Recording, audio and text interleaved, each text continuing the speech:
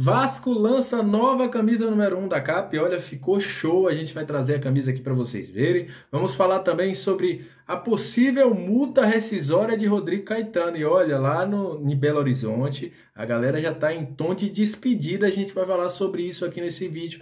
Vamos falar também sobre Carlos Palácios e a possibilidade dele entrar no time ou não na próxima quinta-feira contra a equipe do Brusque. Então, vai subir a vinheta depois da vinheta a gente vai falar muito de Vasco da Gama e vamos trazer a nova camisa do Vasco. Olha, tá show, tá linda demais. Então, sobe a vinheta.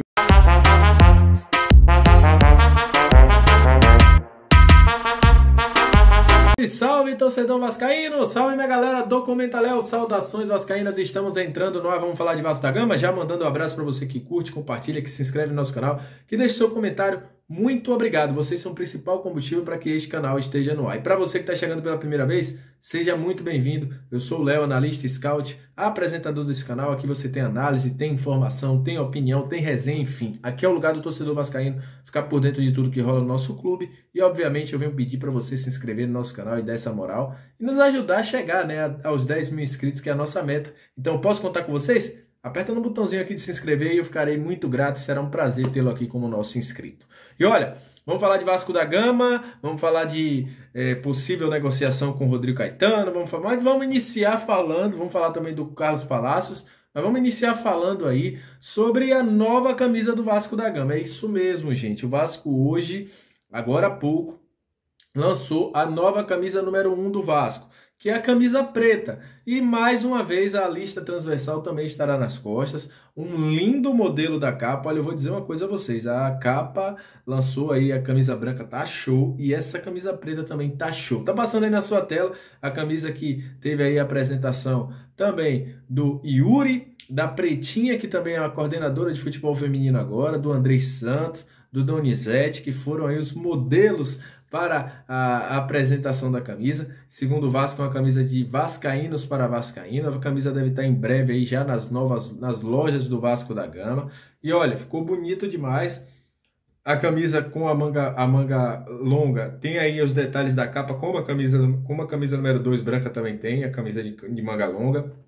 A camisa normal tem aí uma manga é, com um detalhe em branco, ficou uma camisa show. Essa, essa gola aí V ficou sabe? Tá aquela camisa que o torcedor vascaíno aí vai querer, é, obviamente, comprar para ter de lembrança, para utilizar. Tá uma camisa muito bonita. E olha, a capa agora acertou em cheio nas camisas. Só espero que não tenha aqueles problemas, né, que teve na outra, na camisa 2, do emblema soltando, enfim. Espero que não tenha isso, né, que a capa tenha resolvido agora esses problemas que muitos torcedores reclamaram na outra camisa que estava soltando aí o símbolo, o emblema, enfim. Mas espero que a camisa venha aí com uma qualidade melhor do que a outra que foi lançada. Então, Vasco tem nova camisa aí para você, torcedor vascaíno, poder comprar e sair vestido de Vasco da Gama. E olha, vamos falar de Rodrigo Caetano, porque é o seguinte, o negócio esquentou mesmo. A informação que a gente tem de lá, do, do vindo do, de Belo Horizonte, é que sim, a 77 conversou com o Rodrigo Caetano, né? buscou informações do Rodrigo Caetano. Lá já se dá em um tom de despedida, algumas pessoas dizendo que é, pelo poderio aquisitivo que tem a 77 é muito é, pouco capaz que o, o Galo consiga cobrir, que a 77 está disposta a pagar a multa rescisória do Rodrigo Caetano. Mas é o seguinte, o próprio presidente do Atlético até o momento não confirma nenhuma negociação, o próprio Rodrigo Caetano, como a gente falou, também não confirma, mas já se dá aí um tom de despedida.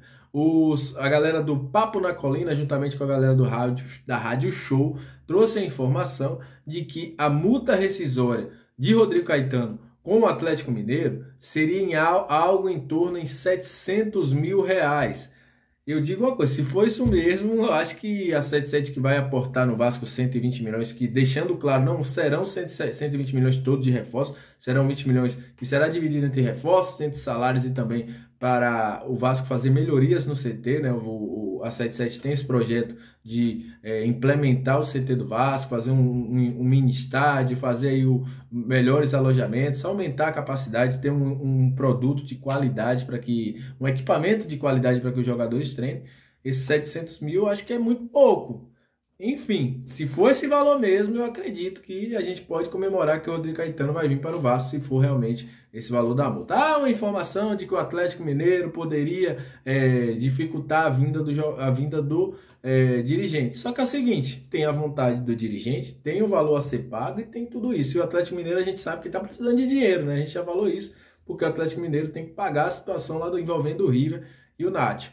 Mas a gente vai ficar de olho nessa novela porque deve ter próximos capítulos e terá sim essa história aí do Rodrigo Caetano. Então a gente vai ficar de olho para ver o que é que vai acontecer, se Rodrigo Caetano vai vir mesmo, se não vai vir, se eles vão buscar outro nome, enfim. Mas é, dentro dos bastidores do Galo já se diz aí em tom de despedida porque acham que o Vasco vai vir bem forte juntamente com a 77 e será um projeto que dará ao Rodrigo Caetano um cheque em branco, como uma pessoa me falou, né? Vai ser um cheque em branco para ele. Então eu aceitaria. Foi com, com uma pessoa que eu consegui conversar. Então vamos ver, né? Se o Rodrigo Caetano vai aceitar ou não essa proposta da 777 para assumir o Vasco da Gama. E olha, Carlos Palácio deu uma entrevista coletiva hoje galera que acompanhou pela Vasco TV, que acompanhou pelos colegas que transmitiram a entrevista coletiva, falou sobre adaptação, falou de estar feliz no Rio de Janeiro, é, falou que, obviamente, respeita e agradece muito a galera de Porto Alegre, mas que o Carioca é diferente,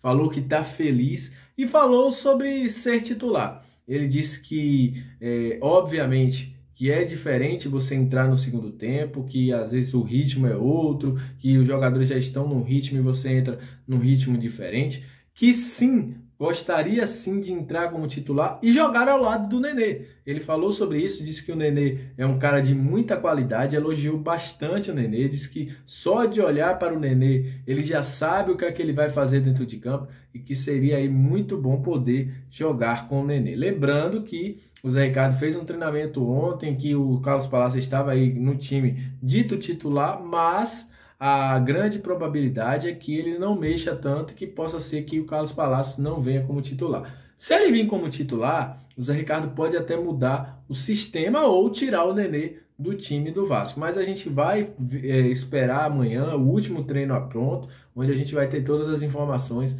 e o provável time titular do Vasco será divulgado e a gente vai trazer aqui no nosso Comenta Léo Vascaíno. Então a gente vai ficar de olho para trazer mais informações do Vasco. Já expliquei no vídeo anterior que a gente está em regime de plantão. Qualquer nova informação a gente vai entrar e trazer para vocês. Então ative o sininho, deixe aí tudo calibrado, porque a partir do momento que a gente trazer a informação, você vai estar sendo notificado no seu celular, porque o Comenta Léo vai estar entrando no ar para trazer as informações do Vasco da Gama. Então é isso. Agradeço a você que chegou até esse momento do vídeo. Muito, muito, muito obrigado. Obrigado por tudo que vocês fazem pelo comentário Vascaíno.